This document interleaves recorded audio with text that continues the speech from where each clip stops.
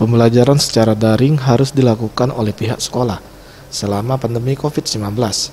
Pemerintah Kota Palembang telah menyediakan WiFi gratis di setiap kecamatan untuk mendukung proses belajar mengajar. Suherman, praktisi pendidikan Sumsel mengatakan, WiFi gratis yang berada di setiap kecamatan di Kota Palembang sangat membantu para siswa untuk belajar secara daring. Namun pihak kecamatan harus memprioritaskan keamanan di lingkungannya untuk menghindari aksi kriminalitas. Untuk Kota Palembang masih belum dilakukan pembelajaran secara tatap muka karena masih belum berstatus zona aman.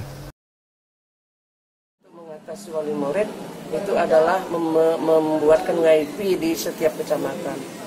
Uh, tentunya ini akan membantu daripada kuota anak-anak kita ya untuk melaksanakan tugas. Namun saya minta WiFi yang dilakukan di kecamatan itu tentunya harus ada tempat pengamanannya Kenapa?